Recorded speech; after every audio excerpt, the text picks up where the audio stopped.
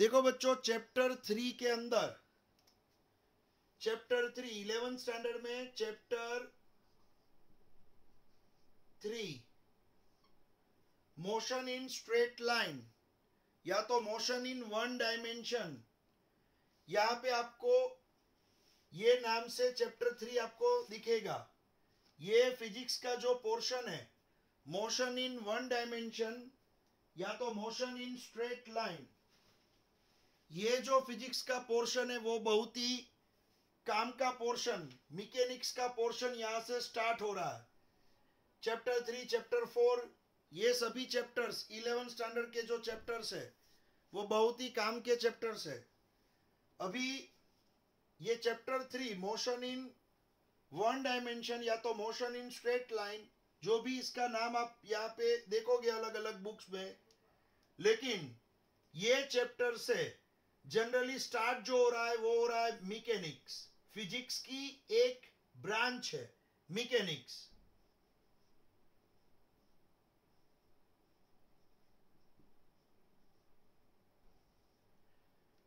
Mechanics क्या है? Physics की एक ब्रांच है और मिकेनिक्स के अंदर मोशन का और ये वो सब कुछ स्टडी होता है. मोशन का, मोशन के बारे में जो मोशन के रीजन है, उसका ये मैकेनिक्स के अंदर स्टडी होता है। तो चैप्टर थ्री से जो हम स्टडी करने वाले हैं, वो मोशन कोई भी चीज़ की मोशन हो रही है तो उसकी वेलोसिटी क्या होगी, उसका एक्सिलेशन क्या होगा, उस पर कौन सी डायरेक्शन में क्या फोर्स लग रहे हैं, उसके मोशन का रीजन क्या है, वो सब कुछ जनरली हम यहाँ कुछ ना कुछ देखेंगे। तो बच्चों, यहाँ पे जो चैप्टर थ्री है, ये चैप्टर थ्री में हम पढ़ने वाले हैं मिकेनिक्स पोर्शन ले, और मिकेनिक्स क्या है? कोई आपको पूछे कि भाई ये मिकेनिक्स क्या है? तो मिकेनिक्स के अंदर दो ब्रांच है, यहाँ पे मिकेनिक्स के अंदर। फ़र्स्ट ब्रांच जो है वो है kinematics first branch kinematics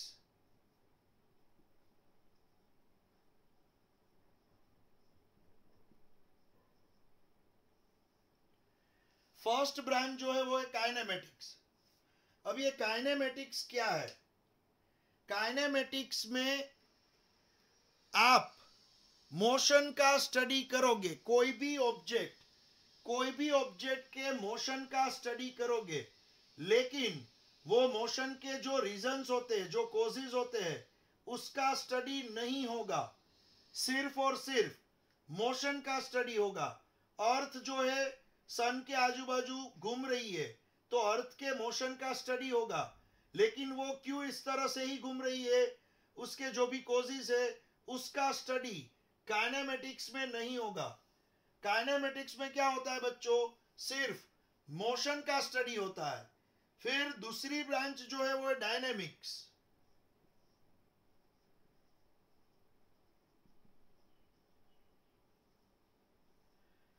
dynamics ये दूसरी ब्रांच है। अब ये जो डायनेमिक्स क्या है, जिसके अंदर मोशन का स्टडी होगा, लेकिन उसके रीजन का भी स्टडी होगा, कि भाई अर्थ सन के आसपास घूम रही है तो कौन सा रीजन है जो इस तरह से मोशन हो रही है? तो यहाँ पे मोशन प्लस इस यहाँ पे मोशन का तो होगा ही प्लस इसके जो कोजेज हो गए उसके जो रीजन हो गए मोशन प्लस इट्स कॉजेज दोनों का स्टडी होगा। यहाँ पे ओनली और यहाँ पे सिर्फ़ आप स्टडी करोगे मोशन के बारे में। उसके कॉजेज उसके रीजन के बारे में स्टडी नहीं करोगे। तो मिकेनिक्स क्या है? मिकेनिक्स क्या है? काइनेमेटिक्स एंड डायनेमिक्स दोनों की एक कलेक्टिव ब्रांच है। कोई आपको पूछे कि भाई मिकेनिक्स क्या है? व्हाट इज़ मिकेनिक्स आपको मिकेनिक्स के बारे में अगर कोई पूछे तो वो काइनेमेटिक्स एंड डायनेमिक्स की एक कलेक्टिव ब्रांच है। और काइनेमेटिक्स क्या है? हमारी second definition what is kinematics तो काइनेमेटिक्स एक ऐसी ब्रांच है, जिसमें सिर्फ़ जिसमें सिर्फ़ मोशन का स्टडी होगा, उसके कोजेस का स्टडी नहीं होगा। फिर नंबर थ्री डायनेमिक्स क्या है? कोई आपको पूछे कि भाई डायनेमिक्स क्या है?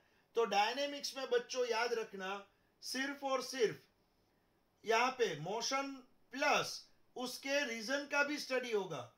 लेकिन इसके अंदर काइनेमेटिक्स में सिर्फ़ और सिर्फ़ मोशन इसके अंदर मोशन प्लस उसके जो भी रीजन है, वो दोनों का स्टडी होगा। तो ये मैकेनिक्स जो है, वो काइनेमेटिक्स एंड डायनेमिक्स दोनों से बनने वाली एक ब्रांच है।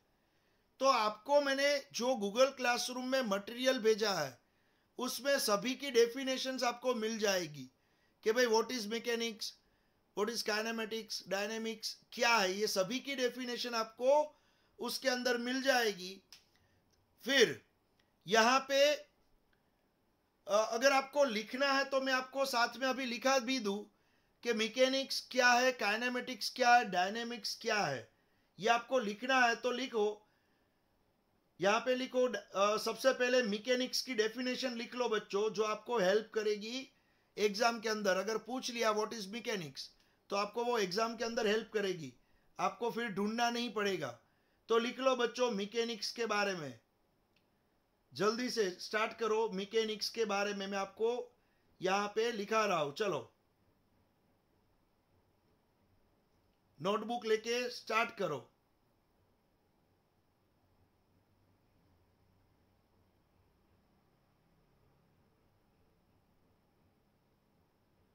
देखो मैकेनिक्स को मैं डिफाइन करने जा रहा हूँ।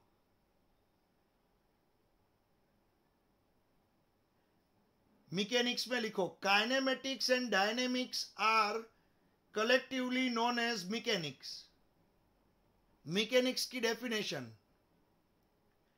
kinematics and dynamics are kinematics and dynamics are collectively known as mechanics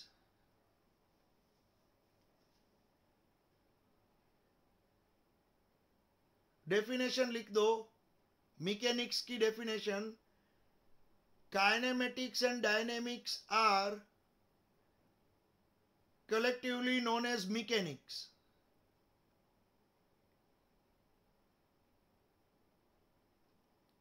चलो, ये हो गई मैकेनिक्स की डेफिनेशन इसके बाद काइनेमेटिक्स की डेफिनेशन में आपको बताने जा रहा हूँ। काइनेमेटिक्स चलो उसमें लिखो काइनेमेटिक्स की definition a branch of physics dealing with motion a branch of physics dealing with motion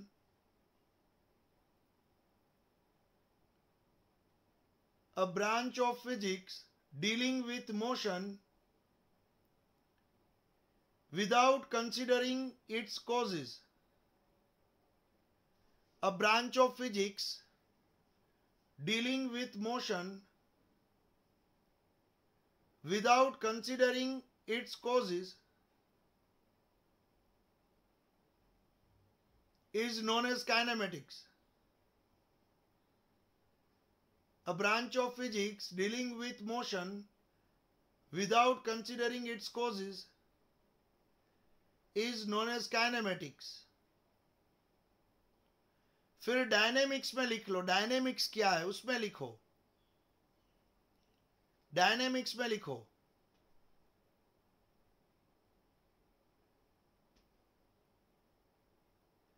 A branch of physics describing motion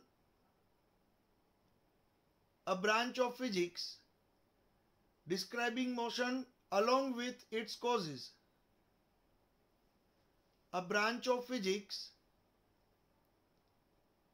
describing motion along with its causes.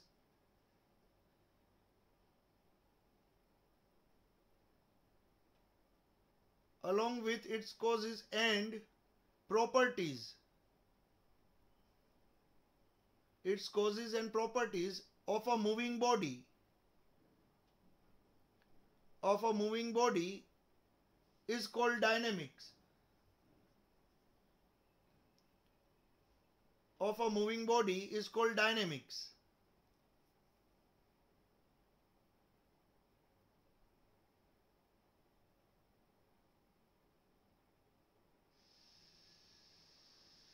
चलो इसके बाद ये मिकेनिक्स हो गया काइनेमेटिक्स हो गया डायनेमिक्स हो गया। कि भाई ये मिकेनिक्स क्या है काइनेमेटिक्स क्या है डायनेमिक डायनेमिक्स क्या है? ये यहाँ पे हो गया। चलो, इसके बाद अब यहाँ पे मैं आपको पढ़ाऊँगा दूसरी डेफिनेशन सॉरी ये वन टू थ्री हो गया। यहाँ पे अब four number four number four में आपको बताऊँगा पोजीशन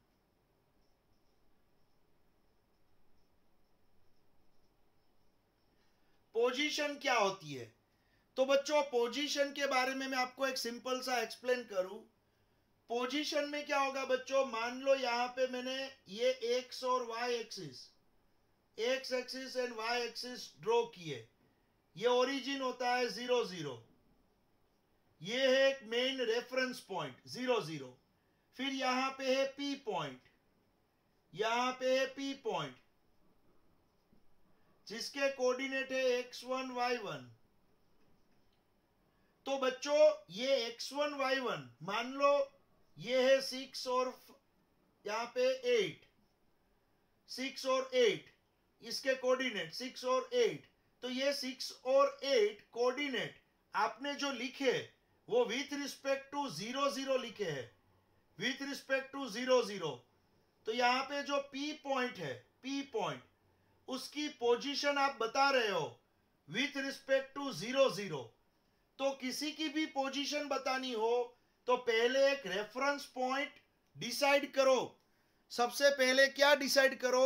एक रेफरेंस पॉइंट सबसे पहले आप डिसाइड करो कोई एक रेफरेंस पॉइंट तो पोजीशन अगर आपको दिखानी हो, किसी भी पॉइंट की पोजीशन दिखानी हो, देखो, ये पोजीशन के बारे में मैं बता रहा हूँ। ये है एक्स एक्सिस ये है वाई एक्सिस ये है origin zero zero origin zero zero zero zero के रिस्पेक्ट में पी पॉइंट की पोजीशन मुझे बतानी है। तो ज़ीरो ज़ीरो के रिस्पेक्ट में पी पॉइंट का कोऑर्डिनेट सिक्स और एट ये आपको मिला पी का कोऑर्डिनेट तो यहाँ पे ये सिक्स और eight with respect to zero zero है। तो बच्चों, कोई भी एक रेफरेंस पॉइंट फिक्स हो जाने के बाद, कोई भी एक रेफरेंस पॉइंट फिक्स हो जाने के बाद, जो आप कोई भी पॉइंट की पोजीशन डिसाइड कर सकते हो। मान लो यहाँ पे है क्यू पॉइंट ये है क्यू पॉइंट तो क्यू पॉइंट की पोजीशन क्या होगी? कुछ अलग होगी। एक्स टू वाई टू ये पोजीशन कुछ अलग होगी। लेकिन सभी की पोजीशन सभी की पोजीशन आप with respect to reference point he decide कर पाओगे। किसी की भी पोजीशन आपको चाहिए। तो with with respect to reference point तो बच्चों, यहाँ पे मैंने आपको बताया कि भाई पोजीशन जो होती है, मान लो आपका घर है, आपका घर, उसका address with respect to railway station ही मुझे लेना है कि रेलवे स्टेशन से कौन सी डायरेक्शन में कितने किलोमीटर पे आपका घर है। तो रेलवे स्टेशन क्या हुआ बच्चों? रेलवे स्टेशन एक रेफरेंस पॉइंट हुआ। तो कोई भी चीज़ की पोजीशन दिखानी है तो कोई एक रेफरेंस पॉइंट पहले लेना पड़ेगा। तो यहाँ पे बच्चों में पोजीशन की डेफिनेशन लिखाने जा रहा हूँ। लिखो आप। पोजीशन की डेफिनेशन लिखाने जा रहा हूँ। लिखो।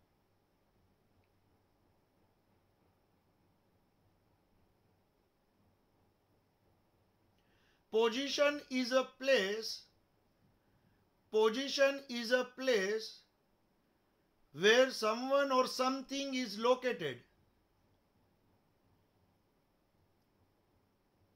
position is a place where someone or something is located with respect to any reference point with respect to any reference point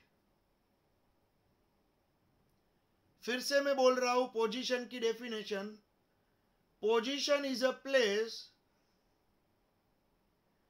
where someone or something is located where someone or something is located with respect to with respect to any reference point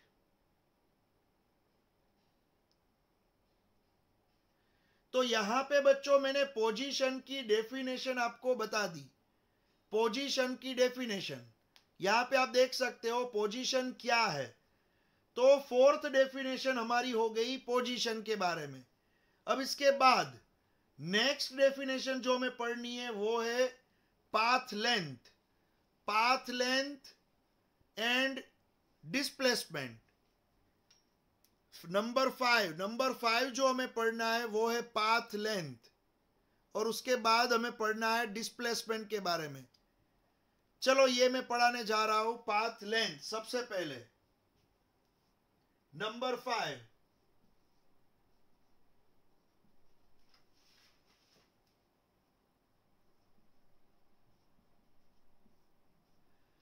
path length number five अब path length क्या है बच्चों? Path length का meaning मान लो कोई A point से आप कार लेके निकले। बी पॉइंट तक जाना है। तो जो रास्ता है, वो रास्ता इस तरह से है, मान लो। ये रास्ता है। कार लेके आप ये रास्ते पे गए।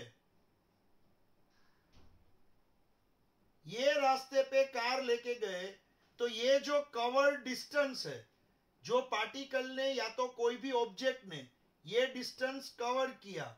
इसको बोलेंगे path length.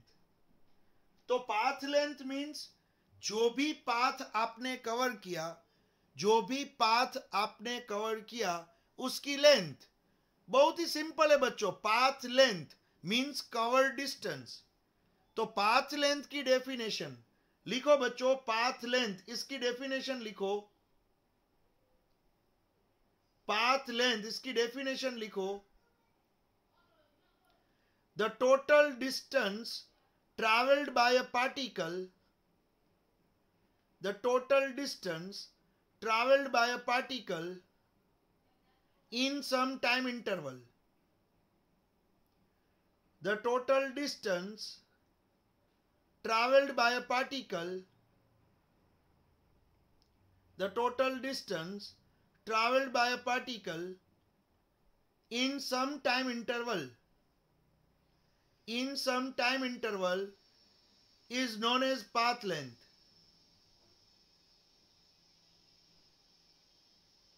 the total distance traveled by a particle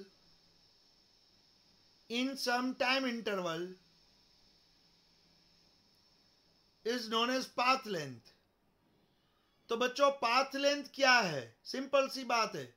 path length क्या है? जितना डिस्टेंस कोई पार्टिकल ने या तो कोई ऑब्जेक्ट ने कवर किया है, जितना डिस्टेंस कोई पार्टिकल ने या तो कोई ऑब्जेक्ट ने कवर किया उसको हम पाथ लेंथ बोलेंगे। तो ये है आपकी पाथ लेंथ फिर नंबर सिक्स जिसको हम बोलेंगे डिस्प्लेसमेंट नंबर सिक्स हम डिफाइन करने वाले हैं डिस्प्लेसमेंट को। नंबर सिक्स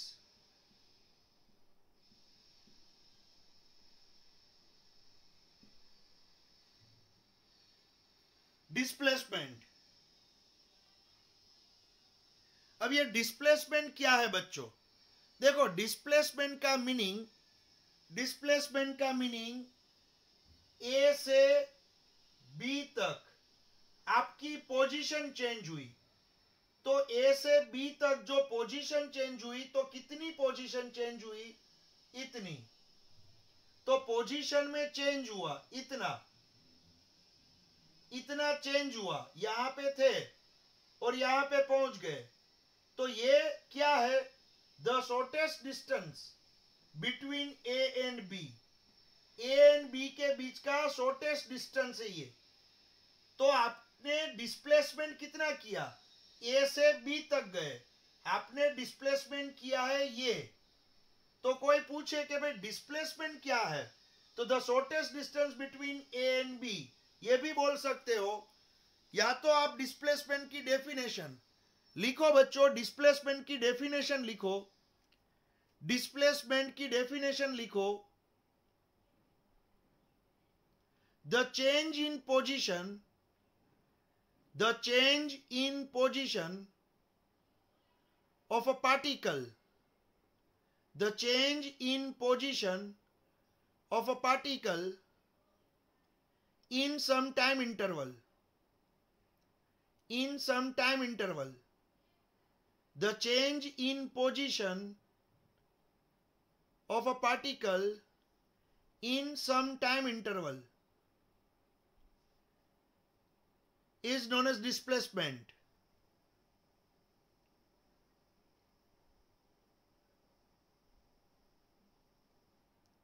तो ये हो गए डिस्प्लेसमेंट की डेफिनेशन बच्चों। डिस्प्लेसमेंट जो है उसकी डेफिनेशन के उसकी पोजीशन में जो चेंज हुआ, उसको आप बोलोगे डिस्प्लेसमेंट अब नंबर सेवन नंबर सेवन जो है, वो है frame of reference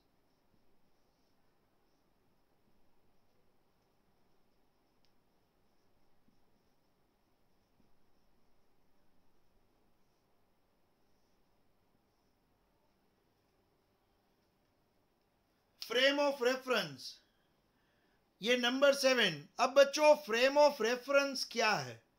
frame of reference तो बच्चों, मान लो आप जहाँ से कोई भी ऑब्जर्वेशन कर रहे हो, आप जहाँ से कोई भी ऑब्जर्वेशन कर रहे हो, मान लो आप कोई बस में बैठे हो और बस में बैठे बैठे बस की विंडो में से आप बाहर देख रहे हो तो बस की विंडो जो है मींस वो आपकी हो जाएगी फ्रेम ऑफ़ रेफरेंस तो बस अगर स्टेशनरी है तो आप बस के बाहर वाली पूरी दुनिया आपको स्टेशनरी लगेगी. लेकिन बस अगर मोशन में है तो बस के बाहर वाली पूरी दुनिया आपको मोशन में लगेगी. तो एक सिंपल सी बात है फ्रेम ऑफ़ रेफरेंस मींस आप कौन सी फ्रेम में से ऑब्जर्वेशन कर रहे हो? मान लो आप कोई रास्ते पे बाहर खड़े हो कोई पेड़ के पास या तो बस स्टैंड में आप खड़े हो और आप बस की ओर देख रहे हो, बस स्टैंड में खड़े खड़े बस की ओर देख रहे हो तो बस दूर से आई, आपके पास खड़ी रही और फिर वापस चली गई। तो आपने क्या ऑब्ज़र्व किया कि बस पहले मोशन में थी, फिर आपके पास आके स्टेशनरी हो गई और फिर से वो मोशन में आ गई। तो रेफरेंस फ्रेम जो होती है वो कौन सी प्लेस पे कौन सी पोजीशन में आप ऑब्जर्वेशन करते हो वो फ्रेम को रेफरेंस फ्रेम बोला जाता है या तो फ्रेम ऑफ़ रेफरेंस बोला जाता है।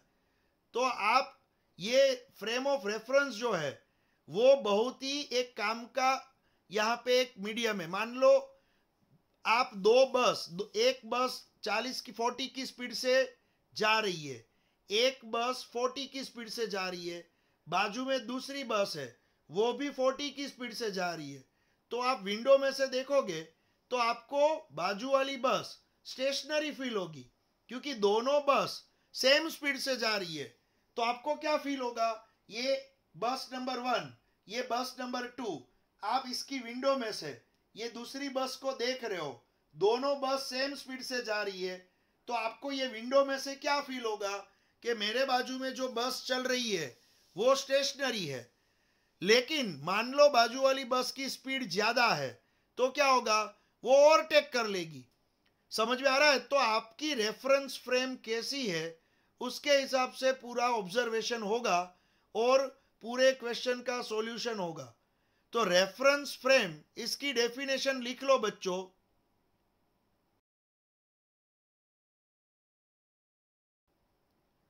रेफरेंस फ्रेम या तो फ्रेम ऑफ़ रेफरेंस, इसकी डेफिनेशन लिख लो आप।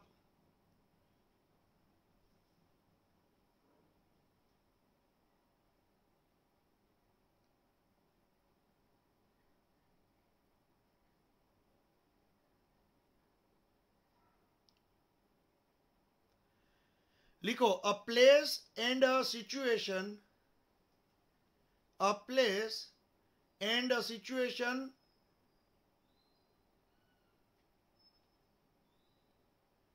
from where an observer a place and a situation from where an observer from where an observer takes his observation takes his observation is called frame of reference.